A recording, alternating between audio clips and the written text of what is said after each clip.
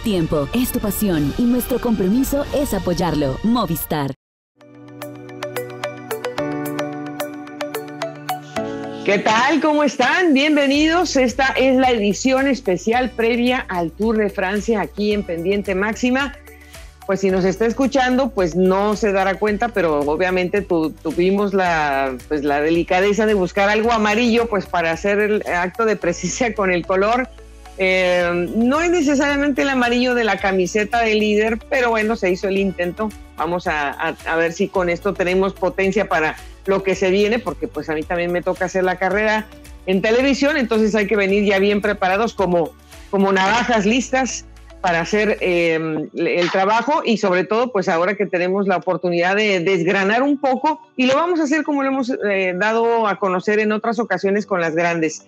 Lo vamos a hacer con calma y paso a paso porque tenemos otras ediciones y podemos hablar de otras etapas un poco más adelante, así que hoy nos vamos a concentrar en el inicio mismo del Tour de Francia y vamos a tener también información sobre el Giro Done porque no queremos que se nos quede opacado por el Tour y por supuesto algunos resultados de los campeonatos nacionales y de lo que sucedió en los Juegos Bolivarianos. Todo esto en el compendio de esta jornada. Tenemos como siempre a Marisol Toro desde Cali que me dice que le llueve más que hacer calor. ¿Cómo estás, Mari? ¿Qué tal, Goga? Saludo especial para ti, para todos los que nos ven y nos escuchan en pendiente máxima. Es cierto, un poco baja la temperatura. Diríamos que en términos generales en Colombia, menos en Valledupar, por lo que escuchábamos en días anteriores de los participantes en la crono. Pero sí, la ola invernal sigue afectando nuestro país y Cali no es la excepción. Aquí estamos listos. Hoy yo me he traído la, la camiseta blanca, la de joven para esta edición especial del Tour de France y como bien lo indicaba Goga, pues vamos a estar muy atentos también a toda esta cobertura y a todo lo que podamos eh, comentarle aquí en Pendiente Máximo. Pues si todos se dan los pronósticos como parece ser, parece que las camisetas que estamos representando van a quedar en la misma persona, pero bueno, vamos a esperar a que se desarrolle esta carrera. Primero hay que decirles a ustedes que esta es la edición número 109 yo cuando se celebró el centenario, bueno, a mí se me hacía como que aquello era una cosa extraordinaria, pero ya llevamos casi 10 más, o sea, 9 más, y el tour está eh, cada año siendo la gran referencia del calendario internacional.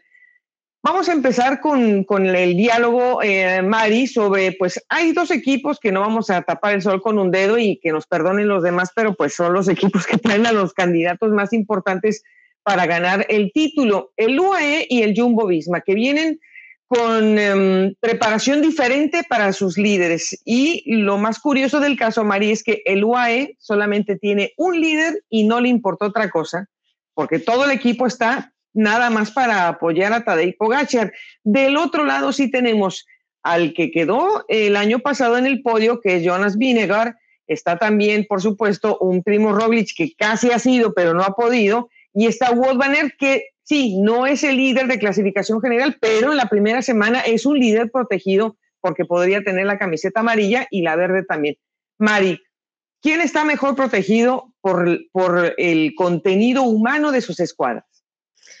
Es muy importante esa parte que mencionas, Goga, de, de, la protección, porque uno pensaría, y cuando salió la nómina del Jumbo Visma, pues vimos a toda la prensa internacional manifestándose, también a los seguidores sobre el potente equipo que efectivamente presenta el Jumbo Visma para esta edición del Tour de France. Pero asimismo también quedaba la sensación de tienen que proteger muchas cosas desde el comienzo, si es que quieren darle un buen lugar a Bob Banner, como efectivamente seguramente va a buscar brillar en esas primeras etapas, de la misma forma que vimos, por ejemplo, a Matthew Van Der Poel en el Giro de Italia, pero sin descuidar eh, la posición de Roglic y sin dejar de proteger a Jonas Vinegar, que puede ser otra carta importante. Como bloque y como equipo que ha venido compitiendo muy bien, que además ha sido exitoso, porque hay que decir que gran base del Jumbo Visma triunfó en la París-Niza y también en el Criterium Dauphiné, pues uno diría que Jumbo es el más fuerte. Pero como líder bien arropado y con la tranquilidad de que siempre va a tener esa protección y a todos esos corredores, algunos muy experimentados, trabajando para él, está Tadej Pogacar, que ha demostrado, eh, pues digamos de una u otra forma, no necesitar a fondo ese bloque porque él también tiene esa manera y esa posibilidad de defenderse en los momentos cruciales de la carrera. Así que como tal, uno diría, mm, UAE tiene más claros los objetivos y eso podría salir mejor, pero también en el momento en que Pogachar no pueda responder o pase algo, el equipo va a quedar muy posiblemente desdibujado. Eh, esa es la situación, yo creo que, que, va a ser la gran diferencia si es que llega a tener algún problema Tadej Pogachar. No sé si va a ser porque un día se quede despistado, porque si vengan los vientos cruzados, porque si se cayó, porque si tuvo una avería mecánica. Lo que sí es cierto es que el COVID es una de las situaciones que podría sacar a este muchacho de carrera, que no vamos a quererlo, ya, ya, ya se han vuelto a ajustar las tuercas alrededor eh, de, lo que marca el código de la UCI para esto, porque se ha, en las últimas horas se ha reafirmado y se ha hecho más contundente eh, que, que, el COVID sigue siendo también una, una pauta muy importante. Sin embargo, viendo la, pues la nómina, yo creo que no podemos tampoco eh, sacar de la bolsa a un corredor como eh, Rafael Majka, porque creo que si, si lo hizo muy bien de la mano de Tadej Pogachar en el, en el Tour de, de Eslovenia, ¿por qué no? Podría ser un hombre que podría sacar la cara. Está Brandon McNulty, que es la cara, la cara más joven. No está Joao Almeida porque lo, lo van a guardar para la Vuelta a España, pero creo que conteniendo tanta, eh, pues tanta carga en la, en, en, la montaña, alguien tiene que quedar bien ubicado. Lo malo es que de todos estos que hemos nombrado, Mari, y también del mismo Pogachar, pues Pogachar ya participó en la París-Roubaix precisamente para saber de qué se tratan los adoquines, pero es que eso no es eh, una garantía de que Tadej Pogachar no vaya a tener un problema en esa, en esa jornada. Y el resto del equipo, salvo Mateo Trentín, no tiene esa experiencia de adoquines, Mari. Entonces, tendríamos que esperar hasta esa quinta etapa. Pero ¿crees que se pueda rescatar algo eh, de, la nómina del UAE para, para el momento en que no esté Tadej? Pues eh, quedaría confiar en ese proceso evolutivo que tal vez tenga un Brandon McNulty, que diríamos es un corredor joven y ha venido mostrando buenas aptitudes en la contrarreloj. También lo ha hecho de manera destacada en todos los terrenos, por así llamarlo. Y el otro sería Miquel Bier. Eh, son los dos corredores que de pronto uno mira en una segunda línea eh, después de Tadej Pogachar. Pero de ahí en adelante, corredores muy experimentados que por supuesto pueden contribuir muchísimo con esa causa, pero que ya uno pensaría es muy difícil eh, puedan resolver de buena manera a lo largo de tres semanas y soportar, digamos, la carga de trabajo que puedan imponer otros equipos. Eh, ciertamente que pues, se han tratado de, manejar y proteger a, a Tadej con otras eh, figuras también para estos tránsitos difíciles como Vega Langen, que también está dentro del equipo. Pero la verdad es que si uno lo ve pieza por pieza, el, Jumbo Visma parece ser el, mejor equipo organizado. Ya vamos a hablar de líneas también, no se preocupen. Pero para nosotros, bueno, para mí, yo no sé si creo que también para Mari, esta escuadra del Jumbo Visma no, o sea, no, no tiene no tiene nada, o sea, nada que le falte, no tiene, no tiene pecados, no tiene ningún tipo de, debilidades, salvo la única, mm, digamos, duda que se, que se pueda presentar es la de la rodilla, que se lastimó en entrenamiento Walt Banner, pero al parecer, y él mismo ha dicho en las últimas horas, Mari, eh, ha descansado en el momento preciso en que esa lesión podría haberse recrudecido y parece que está listo para empezar no sé si para ganar el, primer, la primera etapa de contrarreloj, pero sí me parece que, entrará en acción muy rápido. Mari, este es el, mejor equipo formado eh, pieza por pieza el Jumbo.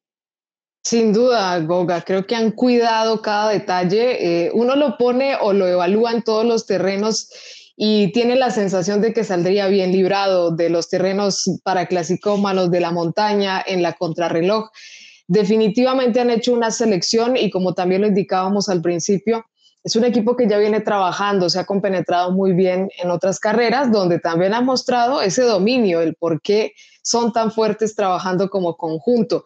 Y estoy de acuerdo con que son los dos equipos eh, más referenciados y que están, digamos, en este caso, mandando la partida por su capacidad y por sus líderes. No es un secreto que los dos eslovenos son los actuales grandes protagonistas de las tres vueltas del ciclismo mundial.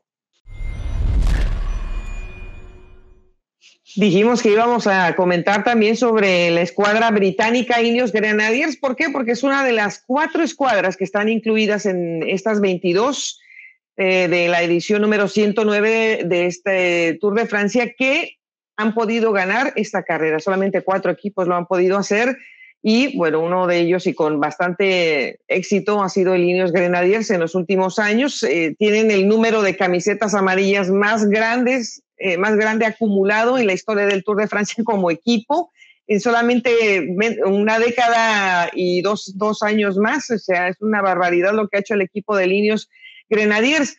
Sin embargo, hay muchas, muchas dudas que pesan sobre la escuadra y, y no tanto por la calidad que tienen los integrantes, Mari, sino porque hay algunas ausencias que podrían ser importantes. Por cierto, que no mencionamos la de Rohan Dennis para el Jumbo Visma, creo que la supieron manejar bien, pero igualmente creo que falta un poquito también Rohan Dennis.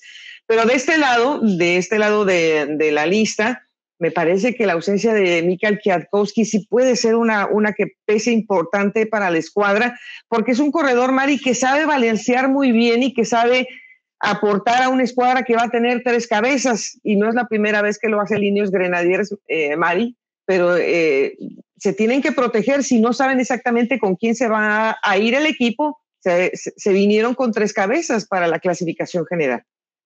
Sí, este tipo de, de jugadas sería muy criticada en otras ediciones y en otros equipos, pero es un poco lo que manejábamos eh, hace una semana en este podcast, las posibilidades de que se manejara ese liderato compartido. Y estoy de acuerdo con la ausencia de Kiatowski, que además había mostrado pues, un magnífico rendimiento eh, es de esos corredores que sin duda siempre rinden muy bien y que sabe moverse en este terreno de la primera semana que va a ser tan crucial y tan importante para la clasificación general.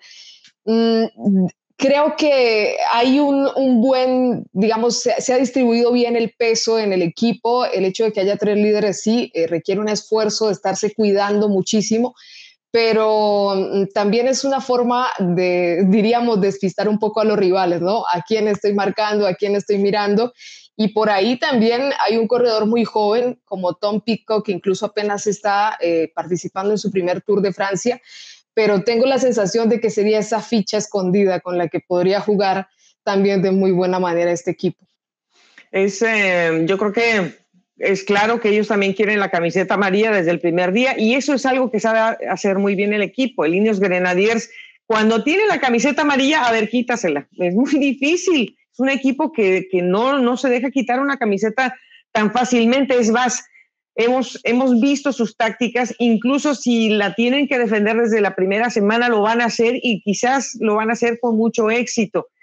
Eh, ahora lo veo un poco más complejo aunque tienen esa posibilidad con Filippo Gana. Sin embargo, pues yo creo que aquí vamos a hablar sin, sin apasionamientos, porque mucha gente nos pregunta, Mari, ay, no, que Daniel Martínez y que qué va a pasar y que si es el líder o no. Yo creo que de Guerrán Thomas, Daniel Martínez y, de Adam eh, Yates, que finalmente está en la nómina, para mí el que menos en este momento tiene esa capacidad de ser líder con la, con la pena es Adam Yates, porque es que no sabemos cómo se ha recuperado de los últimos días, cómo ha podido entrenar. Eh, no es el gran contrarrelojista que es Daniel Martínez, tiene menos peso que, que Daniel Martínez para enfrentar los, los adoquines. Tampoco es un escenario, digamos, que le vaya a ir muy bien o no sabemos cómo le va a ir a Daniel Martínez, pero bueno, finalmente lo va a tener que enfrentar. Yo pienso que de los tres, Mari, Adam, Adam es el que tiene el pie atrás en este momento. Y entre Daniel y Geraint Thomas creo que está bastante, bastante equilibrado el peso en esas dos fichas. Sí, eh, concuerdo contigo, Boga. Lo veo de la misma manera frente a Adam Yates y a Daniel Martínez.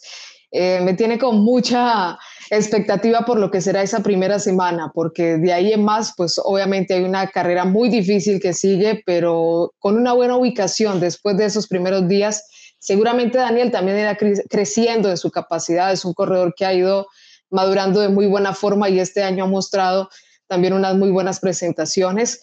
Pero mm, sí, eh, diría que está equilibrada esa carga con lo que nos ha mostrado Geraint Thomas en la reciente Vuelta a Suiza, donde exhibió también una gran condición en la contrarreloj, que sin duda en el Tour de Francia es una prueba determinante.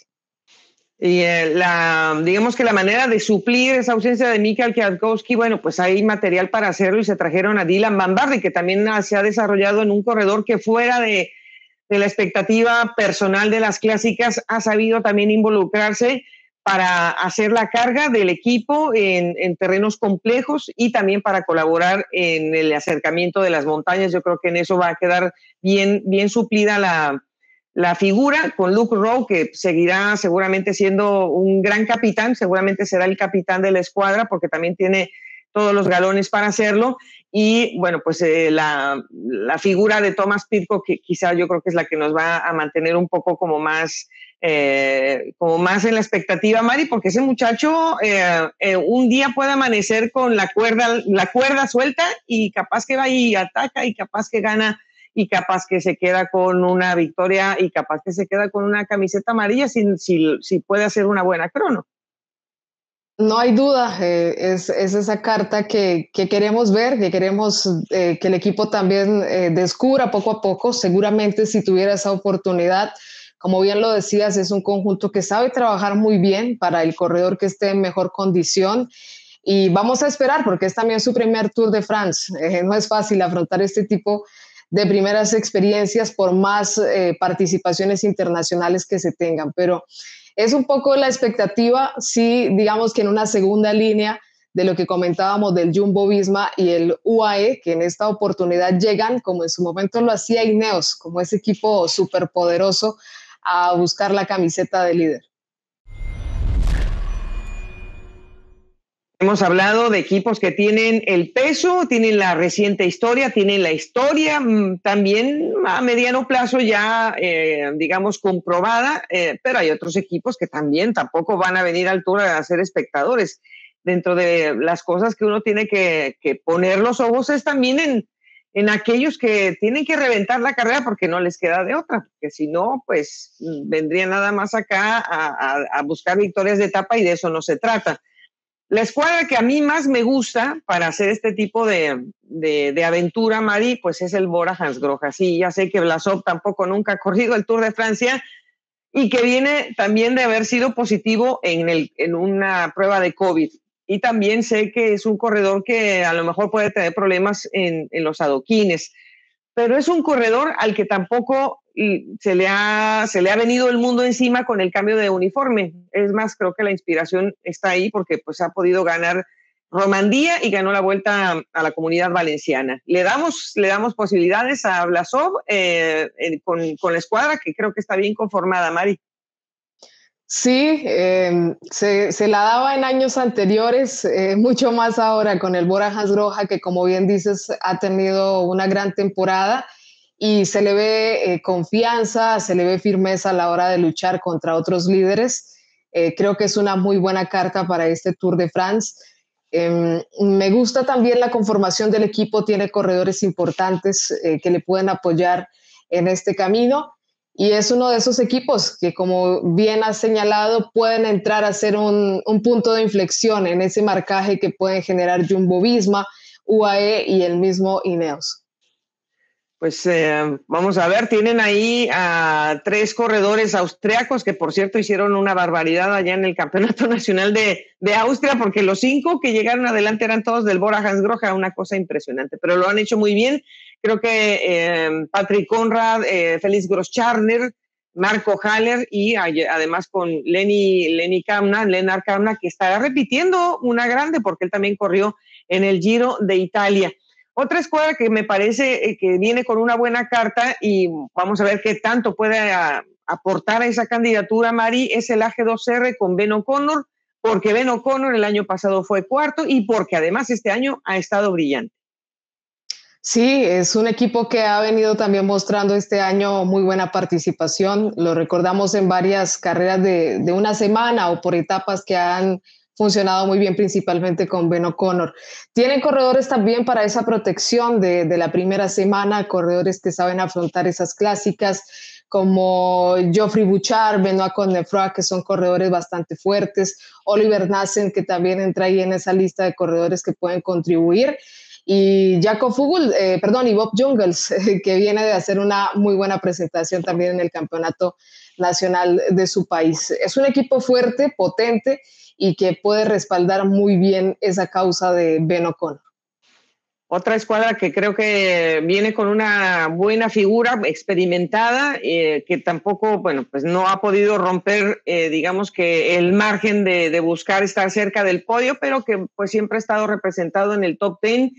Vamos a ver si este es el año para Jacob Fuglsang. Primero porque van, van, vamos a salir de Dinamarca, el hombre debe, debe de venir, ¿no? Con una buena inspiración para, para salir eh, bien librado de esas tres primeras etapas Em, porque además, bueno, pues tiene, tiene la presencia de, corredores también como Simon Clark y el mismo Christopher Froome, si bien a lo mejor no va a estar brillando en la montaña, pero puede ser un buen capitán para la escuadra. Eh, tienen a Chris Neylands, está Michael Woods, que Woods podría ser también un candidato para la clasificación de la montaña o el mismo Jacob Wilson, ¿por qué no hacerlo también, Mari? Eh, pero la verdad, si tú me dices qué otra escuadra más que esta, y, bueno, la presencia de Nairo Quintana, que pues como hemos dicho, creo que está mucho más, más cargada hacia eh, la clasificación o de la montaña o eh, de, de, algunas etapas para, para esta escuadra, tanto Nairo como Warren Barguil, que otro equipo, porque Román Bardet quizá pueda recuperar lo que hizo en el Giro de Italia pero está corriendo en Francia y cuando corre en Francia a Bardet le empieza a pesar un poco la, digamos que la, exigencia local, ¿no? Pues guardo expectativa por eh, el Grupama francés de Ye, que en esta oportunidad eh, creería van a tener toda esa fuerza a favor de David Gaudú. Eh, yo sé que hemos esperado muchos años que David y pues también el mismo Grupama de la mano de Thibaut Pinot puedan tener eh, esa representación francesa. Pero bueno, le, voy a dar mi voto de confianza al equipo. Me gustó cómo vi trabajando a Gaudú, por ejemplo, en una competencia como el Tour de los Alpes. Y mm, ojalá sea esta la oportunidad también para hacer un buen espectáculo en su país. Em, junto a David Gaudú, pues eh, hay corredores que pueden hacer también una muy buena presentación en esa primera semana, como Stefan Kohn, que también estuvo haciendo un buen papel en la vuelta a Suiza, Michael Storer, que también se ha convertido en un muy buen eh, gregario y una muy buena compañía, y la experiencia de Thibaut Pinot, que sin duda puede aportar también desde esa posibilidad de acompañar al equipo y por qué no verlo también en una búsqueda de victoria de etapa. Bueno, el, equipo Movistar, que está en su cuadragésima aparición en el Tour de Francia, es el equipo con más apariciones en el Tour de manera consecutiva, además, que eso es una, una barbaridad, es algo histórico, hay que aplaudirle también a esta escuadra las siete veces que han sido campeones pero pues con lo que viene presentando en esta escuadra, eh, Enric Mas también es, es, otro, otro corredor que acaba de firmar una extensión para, para, permanecer en el equipo hasta el 2025. Eso le debe de dar algo de tranquilidad, pero es una escuadra que pues ha tenido que llamar hasta Albert Torres, que es un corredor más bien de pista para tratar de complementar. Sabemos que algunos corredores tienen lesiones, están enfermos, etcétera eh, está Gorka Izaguirre, está Carlos Verona que acaba de ganar una etapa en, en Dauphiné, está obviamente Imanol Erviti, pero está también un corredor más joven como Mateo Jorgensen que puede buscar algunas etapas, está Gregor Mulberger y está Nelson Oliveira. Em, ¿Tendrá la posibilidad eh, el, equipo de, de meter a Enrique más en esta conversación? Pues eh, es el objetivo para el que ha trabajado Enric Mas. Eh, yo creo que él también tiene la premura de, demostrar esa posibilidad de, hacerlo muy bien como líder. Lo hemos visto el año pasado, eh, digamos, aflorando un poco más desde esa posición como un corredor que puede liderar la escuadra. Pero la expectativa como Movistar es esa, ver cómo se compenetra el equipo y también qué tanto o hasta qué punto pueden llevar a su líder y hasta qué momento también ese corredor puede dejarlos bien representados en la general. Para mí es ahí un, asterisco y alguien a quien seguir en este Tour de France, pero eh, no lo pongo ahí en esa primera línea de protagonismo. Eh, bueno, hasta ahora que estamos nosotros grabando eh, este podcast, pues el único equipo que sabemos que nunca entrega a tiempo su nómina es el Education Easy Post. Entonces, eh, pues lo único que podemos decir es que, bueno, se supone que va a estar Rigoberto Urán, estaría participando en su noveno Tour de Francia, ya tiene una victoria de etapa. de repente, eh, no sé por qué, pero en, en las listas que normalmente estamos eh, consultando, aparecía eh, pues Esteban Chávez, que viene haciendo una, un, digamos, un regreso de temporada muy bueno para esta siguiente parte del año. Y bueno, de alguna manera desapareció de la lista. Eso no quiere decir que no vaya a estar Mari, pero es otra escuadra que tiene a alguien que repite del Giro, que es Magnus Cornilsen, que seguramente querrá también hacer alguna victoria de etapa desde, desde ya en Dinamarca. Está Stefan Biseyer, que también es otro corredor que debería de aspirar a la camiseta amarilla, pero está Rigoberto Urán. Ya que, ya, que tocamos que está Rigoberto, que es el seguro, y, y, y bueno, lo de Nairo, Quintana, pues son las otras dos caras de Colombia que va a tener y las de Latinoamérica, porque es que ya en esta edición no tenemos a ningún corredor ecuatoriano. Mari, ¿qué podemos esperar de Rigoberto y de Nair? Pues de ellos mucha combatividad y seguramente eh, la posibilidad de buscar etapas, buscar brillar en la montaña. Rigoberto Urán es un corredor que en muy buena forma sabe buscar esa posibilidad de protagonismo y no solo como una victoria, sino también de ubicarse muy bien en la clasificación general. Eh, no tenemos la nómina completa, pero en esa preinscripción vemos un equipo que podría también acompañarle muy bien en caso de que estuviera en busca de esa buena posición en la general, pero sí estamos a la expectativa de, buenas actuaciones eh, individuales, de victorias de etapa son tiempos diferentes, ¿no? Y creo que lo venimos asimilando también desde el Giro de Italia, Goga, con un papel protagónico de los colombianos, pero también eh, con un momento eh, de nuestros ciclistas que nos invita a mirar un poco, a hacer el retroceso y, y, mirar y valorar todo lo que se ha conseguido, porque no todos los años, y no solo pasa con Colombia, vamos a tener esa oportunidad de tener a los nuestros ahí en esa primera línea de protagonismo. Y eh, esta es una, una oportunidad pues para, para, ver para otro, o sea, para, para ampliar más bien dicho, no para ver otro lado, sino para ampliar el, el panorama con el que vamos a disfrutar el Tour de Francia, pues a mí, a mí me ha tocado hacer transmisiones en donde no había colombianos o había solamente uno. Y pues la carrera sigue, la historia se sigue escribiendo, hay muchos protagonistas, así que esperemos que, bueno, pues si nada más tenemos a tres o si tenemos esos cuatro, pues se pueda, se pueda hacer una, pues una fiesta, pero para que la gente quede, quede atraída al evento, porque bueno, el Giro tuvo sus bemoles y todo, pero mucha gente se quedó inconforme de que, bueno, pues que si Colombia tenía o no protagonismo, de que si Ecuador tenía o no protagonismo, esperemos que en el Tour no suceda y que el espectáculo sobrepase las nacionalidades. Vamos a echar un ojo a los sprinters. Em, van a quedar mucho más limitados porque, bueno, aquí siguiendo las notas que ya tenemos preparadas, solamente hay seis etapas que están cantadas al sprint, que pueden ser más, cierto, pero seis están ahí para, para los sprinters. Em, y obviamente em, la, la primera noticia que saltó digamos, en esta nómina que terminó de conformarse apenas hace unas horas es que Mark Cavendish no está presente. Si ustedes pudieron ver los campeonatos nacionales de la Gran Bretaña, ese hombre peleó por el título como, como nunca he visto pelear a un sprinter el título nacional de su país desde una escapada, 180 kilómetros, atacaban, respondía y supo guardar todo lo que pudo en las piernas para poder rematar al final y ganar. Em, tenía cabida Mark Cavendish, eh, Mari, tomando en cuenta que la forma de Julian Alaphilippe no le daba para estar en la nómina del Quickstep, pensando en que estaba Fabio Jacobsen en esa nómina. ¿Estaba o no entraba Cavendish?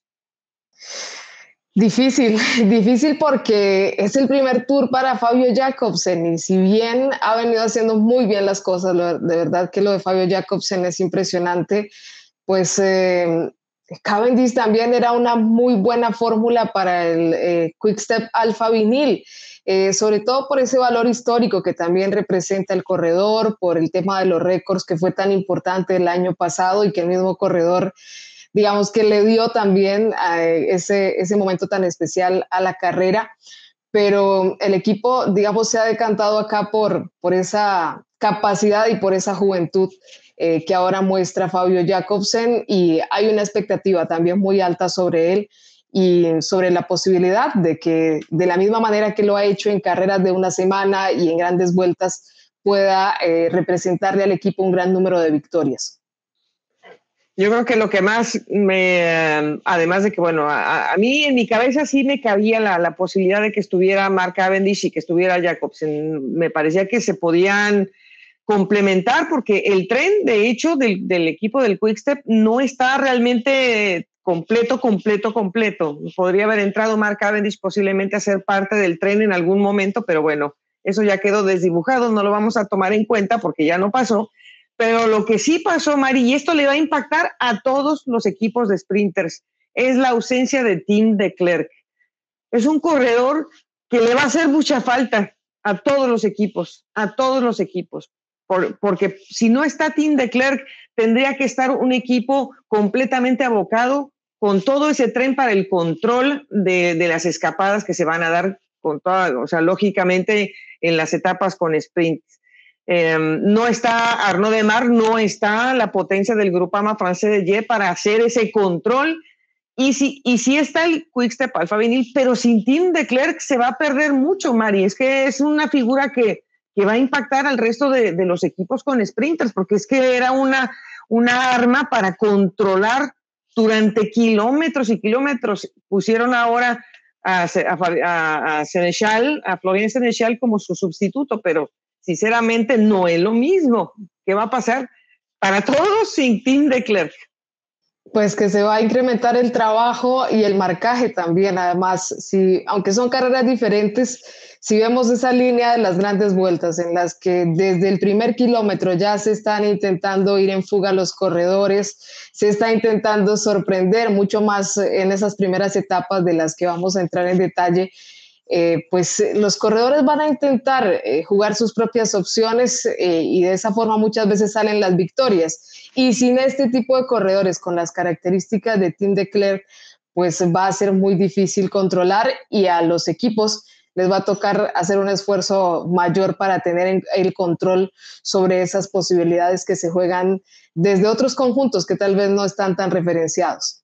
Sí, la situación es que, bueno, creo que de entre los sprinters, me, o sea, los sprinters puros de los que vamos a hablar ahora, no va, no creo que vaya a aparecer la figura de la camiseta verde, porque esa creo que la está trabajando o ya desde antes en, eh, con las expectativas que tiene Wout porque además le va bien en todas las etapas. Imagínense usted, si no lo va a hacer bien en la crono, no lo va a hacer bien en los adoquines, y no le va a hacer bien atacando, porque es otro corredor que más o menos tiene esas características. Entonces, pues hasta la montaña ya nos ha demostrado que puede ganar. Entonces, creo que la verde no va a caer en un sprinter puro Mari, pero sí podemos hablar de qué sprinters le van a poner la pelea a Fabio Jacobsen, que es el que tiene al mejor lanzador del mundo, que es eh, Morkov.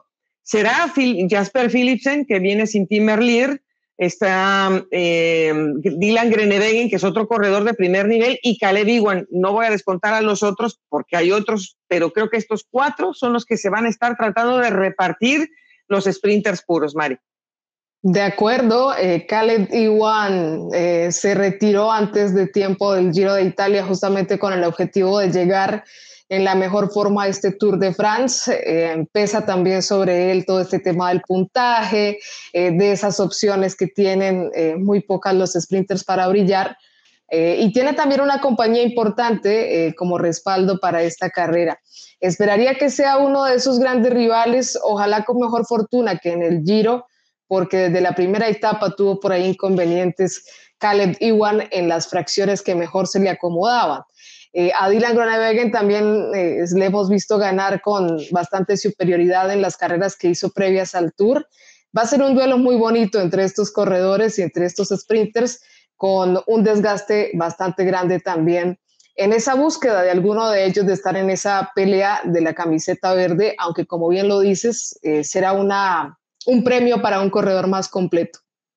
Bueno, eh, Dylan Grenevegen tendrá el apoyo de Michael Matthews, porque Matthews posiblemente esté buscando también, digamos, eh, una presencia con otros perfiles, no necesariamente con los, eh, las, los embalajes masivos, porque están compartiendo filas en el Bike Exchange.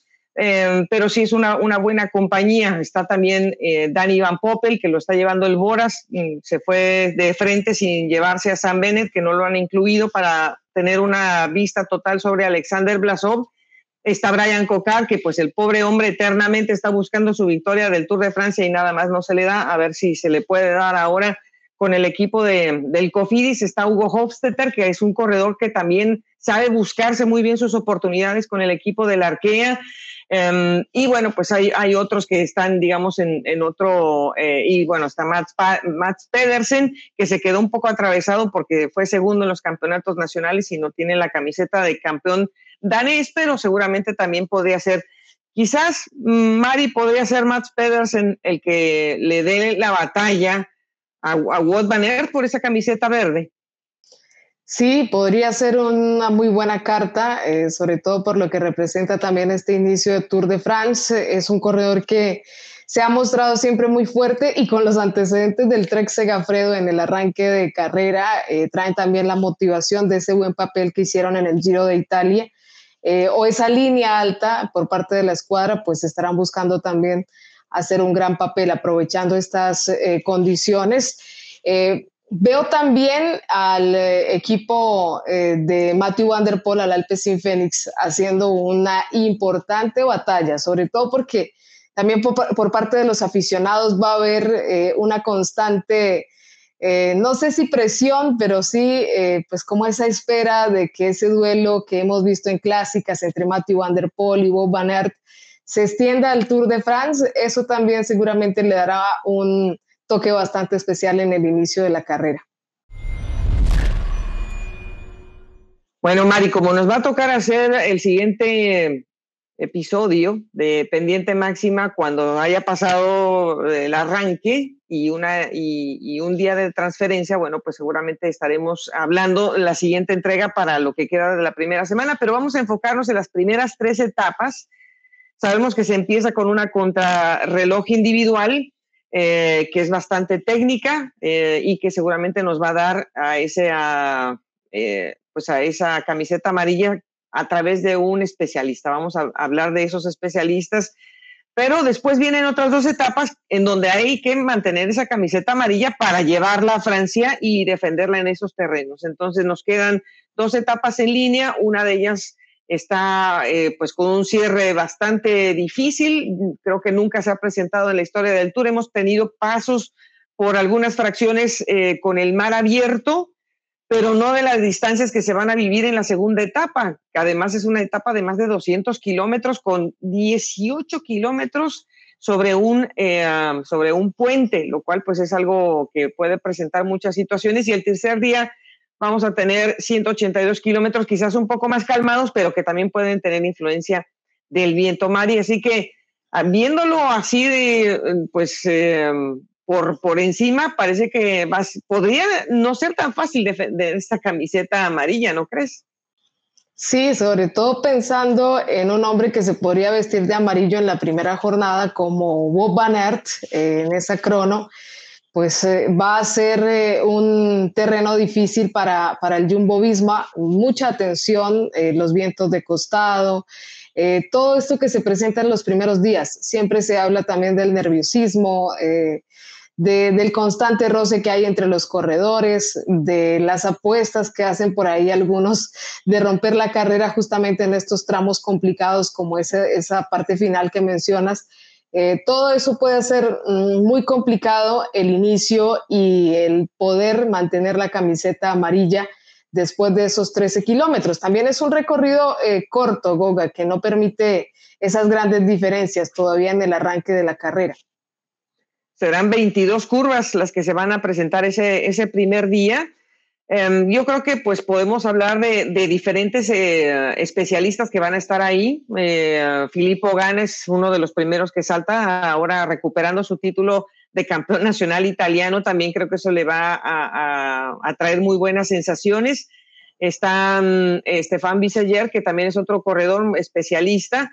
Y creo que dentro de los que podría sorprender, porque no estamos diciendo que Wout Van Aert o que Matthew Van Der Poel no van a ser candidatazos, porque lo son candidatazos para esta crono corta, pero yo espero que se dé la sorpresa y espero que sea Stefan Kong, porque además viene arrastrando una muy buena forma y si algo va a tener eh, Stefan Kong es que si puede salir de aquí con alguna ventaja, el hombre, mientras se pueda defender haciendo una buena llegada, mientras pueda mantener eh, con, el equipo un, buen ritmo, puede también incluso aspirar a llegar hasta la, etapa 5, porque Stefan Kong es un gran hombre de clásicas adoquinadas, entonces hablamos de la París Rubén, no, no de las otras eh, clásicas que son quizás no tan fáciles para él, pero sí París Rubén. Eh, ¿Le daríamos permiso a Stefan Kong de ser un, una camiseta amarilla sorpresa? Sería buenísimo, buenísima opción, Goga, ver a este corredor que ha rendido muy bien, que siempre ha estado ahí también buscando esa línea protagónica y tiene también el respaldo para proteger ese liderato durante esas cinco primeras etapas. Y un golpe motivacional para el Grupama y también una muy buena carta para un equipo de casa eh, en busca de ese liderato. Sería una buena forma de empezar el Tour de France, eh, un poco más eh, amplia después de esos favoritos que hemos mencionado, que de una u otra forma también pues nos hace la carrera un poquito monótona porque ya sabemos un poco lo que va a pasar. Sería un candidatazo. Eh, sin embargo, pues hablando lógicamente, ¿a quién piensas que, estaríamos contemplando de amarillo entonces? Pues creo que Filippo gana, es un corredor que definitivamente eh, se hace intratable en esa crono. Eh, lo decíamos ahora, no es esa crono extensa que permite hacer grandes diferencias, pero por el estado de forma eh, y por lo que representa también para él y para el equipo vestirse de líder, va a apostar todo en esos 13 kilómetros y algo más ahí en la salida en Dinamarca. Es una, yo creo que es mucho, mucha gente está pensando en que el campeón del mundo estaría vestiéndose de, amarillo y eso sería también un tremendo golpe de, alegría para, el equipo de Linios. Em, digamos que se da la lógica y que entra eh, Filippo Gana. Sin embargo, si ponemos a los corredores de clasificación general, que también son buenos contrarrelojistas, pero quizás no, van a estar a la altura de Filippo Gana, eh, podríamos decir, ¿quién tiene la ventaja, aunque sea por centésimas de segundo, Primo Roglic o Tadej Pogacar? Yo le voy a jugar los bonos a Primo Roglic. Creo que sí. Eh, viene motivado, es un corredor que pues siempre se ha destacado también en este terreno y en este caso le voy a Primo Roglic.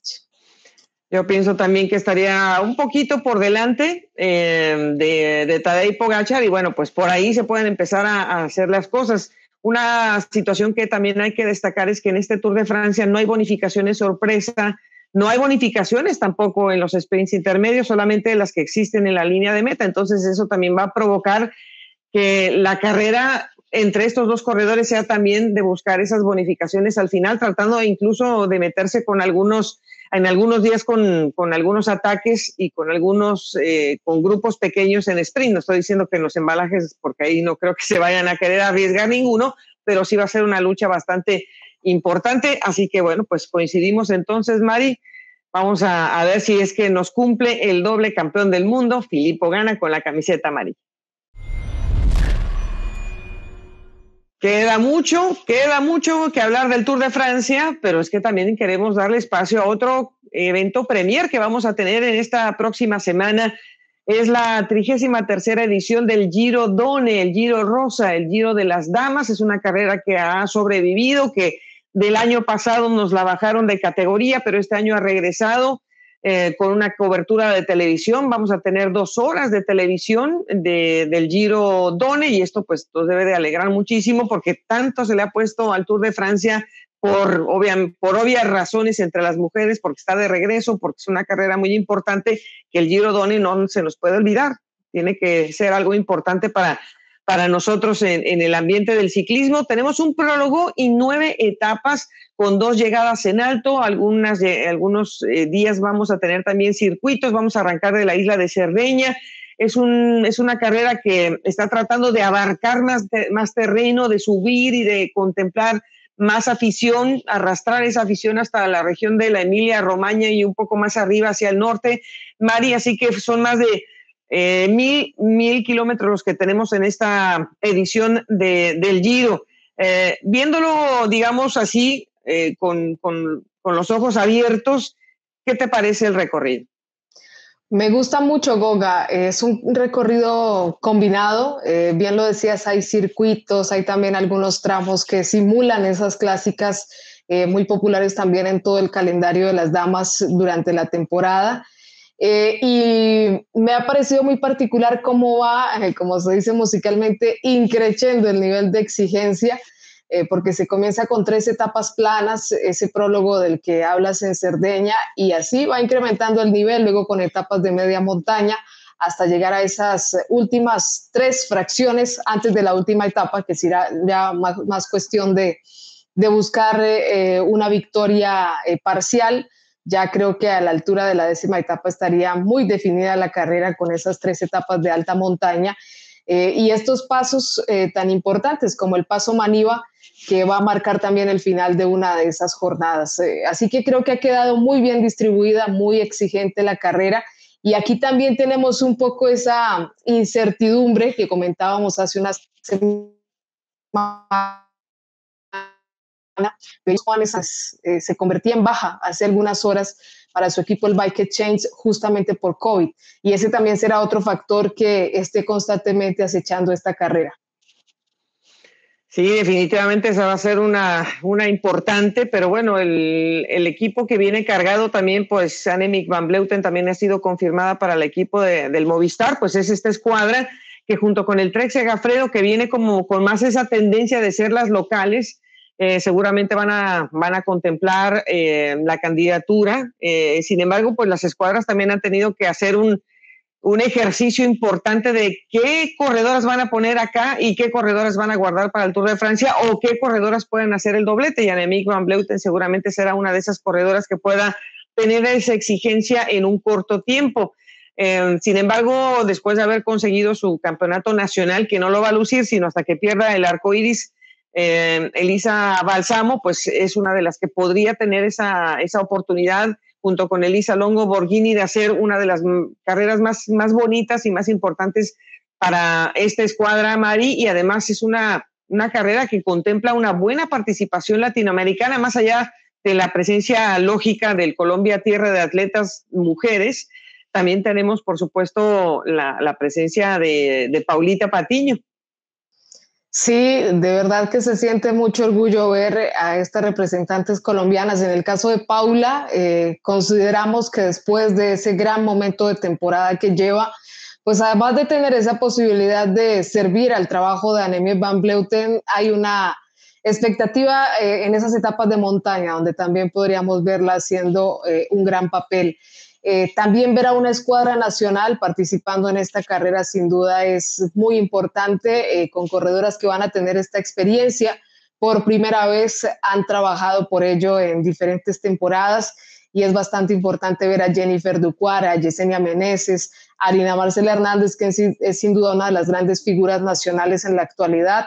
Lorena Colmenares, que ha buscado también esta posibilidad durante tanto tiempo de competir a nivel internacional ni qué decir de Estefanía Herrera y una de las más jóvenes, Elizabeth Castaño. Va a ser ese el equipo que dirija, también una mujer, Rocío Parrado.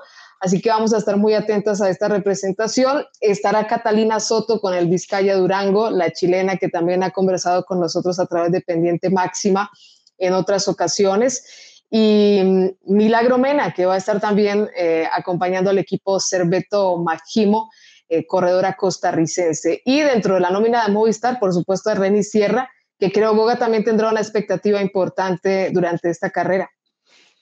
No, definitivamente. O sea, Arlenis puede guardar sus, sus, mejores actuaciones para esas etapas que tienen el sube y baje constante, esas etapas que son exigentes, eh, muy, cansa muy cansonas porque son de circuito con algunos premios de montaña, pero también si se llega a involucrar en algunas de las llegadas eh, rápidas, pues sabemos que Arrenis también tiene lo suyo en, ese en, en esos eh, tránsitos, en esos trámites.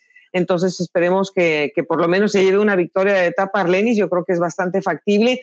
También la, pues está un poco por definirse el resto de las nóminas porque no todas están eh, publicadas, Mari, pero bueno, pues hay que decir que Marianne Vos también sería otra corredora que va a hacer el doblete porque ella también está contemplada para ir al Tour de Francia.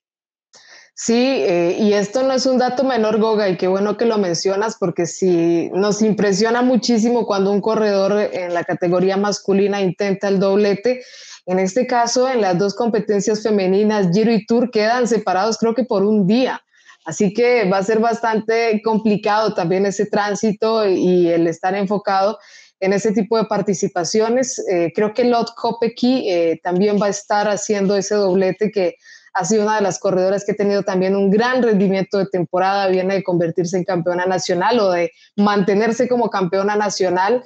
Así que va a ser también algo muy importante para destacar en los próximos podcasts cómo se está dando esta participación y principalmente en el Giro de Italia femenino, que sigue siendo la carrera más extensa con 10 eh, etapas. Vamos a, seguramente les estaremos contando porque vamos a poder ver la carrera, así que si usted la quiere ver, eh, pues eh, creo que por la suscripción de GCN se va a poder ver en Latinoamérica y está la, producción está haciendo PGM Sports, que también es otra eh, vía importante para verla, pero no sé si está disponible para Latinoamérica a través de su canal de YouTube, pero estaremos aquí de todas maneras haciendo el recuento la próxima semana de los primeros pasos de la carrera. Bueno, ya se nos fue un poco larga la charla en esta jornada, pero es lógico, con el Tour de Francia hay mucho más eh, detalles que tener y que definir, pero si queremos cerrar un poco este episodio hablando de lo que pasó con algunos campeonatos nacionales en Latinoamérica y por supuesto los eventos de, ruta y contrarreloj que se llevaron a cabo en los Juegos Bolivarianos, porque ahí también hay bastante de, de qué charlar. Pero sí quería decir, bueno, algunos de los eh, actores de los últimos días, porque no solamente fue el fin de semana, sino en otros unos días anteriores, algunos equipos, o más bien dicho, algunas naciones que hicieron sus campeonatos nacionales, eh, para, para que se, no se nos olviden los muchachos que también vinieron desde Europa a hacer la representación a su país, como Orluis Aular, que se ha llevado el título de Venezuela en la contra, perdón, en el evento de ruta Está mm, eh, Vinicius Rangel, el corredor brasileño que se lleva la camiseta nacional para el equipo de Movistar. Él está compitiendo para esta escuadra, lo mismo que Abner González, que también repite el título en Puerto Rico. Y bueno, pues también se celebró en Honduras con Cristian Martínez, en Costa Rica con Jason Huertas, eh, Mardoqueo Vázquez con la selección de Guatemala, que va a ser el campeón nacional. Kyle Murphy de los Estados Unidos, que también lo hizo recientemente en el continente americano, Brian Fernando Mendoza del equipo de El Salvador.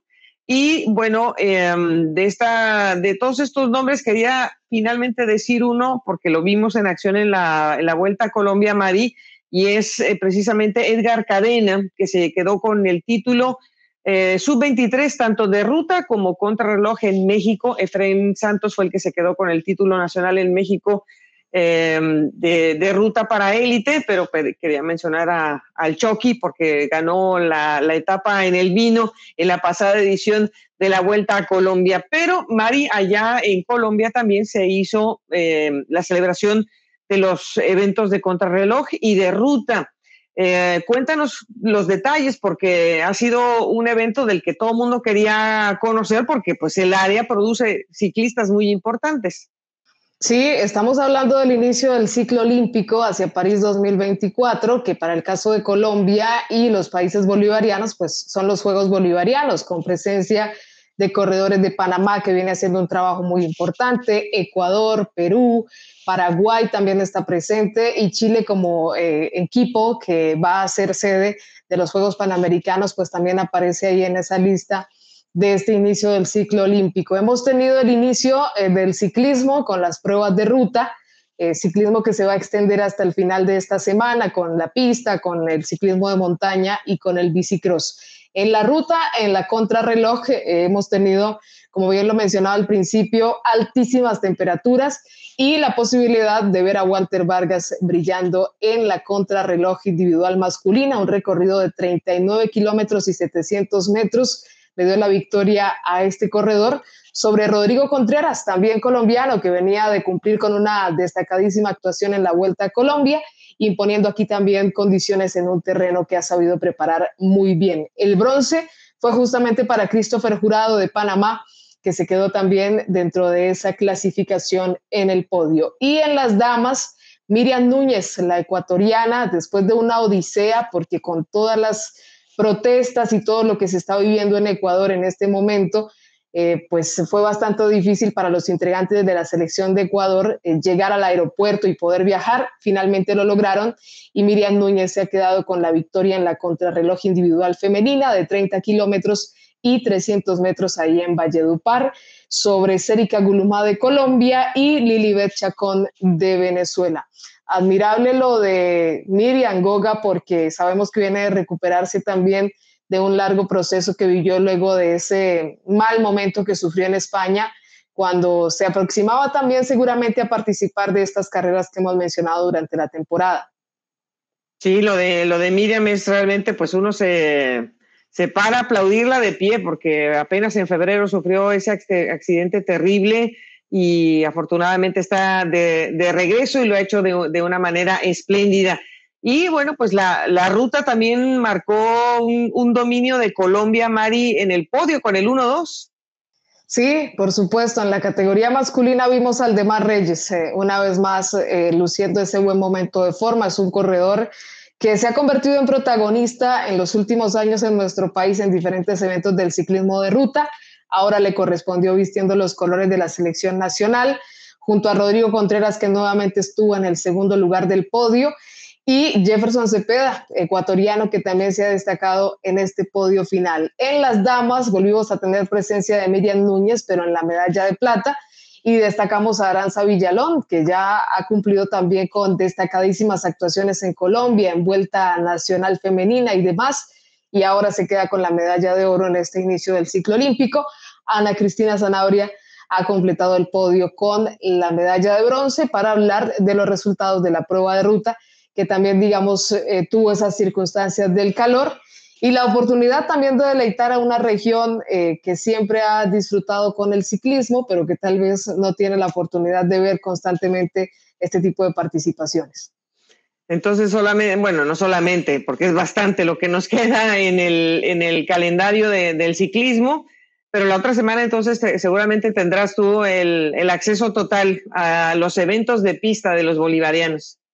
Así es, Goga, tendremos competencias en el velódromo Alcide Nieto Patiño y como bien lo decíamos, el equipo nacional viene de afrontar una importante temporada en Europa, sobre todo con esas jóvenes figuras, ya no son promesas, Cristian Ortega es toda una realidad, seguramente va a ser parte de ese equipo colombiano, al igual que otras eh, grandes estrellas, como es el caso de Kevin Quintero, todos preparando además la participación en la última válida de Copa de Naciones que también va a ser aquí en Cali. Bueno, tenemos entendido que ya está de regreso también Mariana Pajón, ¿no? Que andaba un poquito lesionada, pero parece que va a participar en los eventos, ¿no? De BMX. Sí, justamente hoy se confirmaba, eh, todavía la lesión en su mano derecha la molesta un poco, lo ha expresado hoy, pero va a estar presente en este inicio del ciclo olímpico. Tendremos también el ciclismo de montaña. Será un fin de semana completo con estas tres modalidades del ciclismo. Así que en nuestra próxima edición de Pendiente Máxima Goga estaremos comentando todos estos resultados, porque hay que decir, en el BMX Ecuador también viene con una fuerza muy importante. Claro que sí, así que nos queda esa agenda para la próxima semana y por supuesto arrancamos con el Tour de Francia, a ver cómo les va a todos en este inicio bastante al norte, la región más norte en la que ha iniciado el Tour de Francia el próximo viernes primero de julio, pues a mí me toca hacer la transmisión en Caracol Televisión y bueno, pues les dejamos eh, nuestro link para verlo también en línea, que es el tour por caracol.com. Si usted está fuera de Colombia, pues le recomiendo que se compre un VPN y con eso puede ver algunos, eh, pues algunos países como si estuviera en, eh, en, ese país. Así que es una, es una vía comercial en la cual poder acceder este, este enlace y bueno, pues esperemos que nos acompañen. Ojalá se pueda dar, eh, porque a mí me daría mucho gusto que nos escucharan también en otros países, pero ya saben que en Colombia nos pueden ver a través de Caracol Televisión. Así que Mari, ya me voy a tener que ir a dormir temprano estos días. no vas a ser la única Goga y vamos a estar ahí desde muy temprano al otro lado de la pantalla, en este caso eh, a través de la computadora siguiendo tus narraciones y seguramente nos encontraremos en ocho días para conversar un poco de lo que ha pasado en todo el mundo del ciclismo. Así es. Marisol Toro, como siempre, eh, un abrazo, un beso para, para ti hasta Cali y a ustedes también, se los mandamos no, no nos hacemos de la boca chiquita. Muchos besos para todos ustedes y un abrazo muy grande también por su compañía en Pendiente Máximo.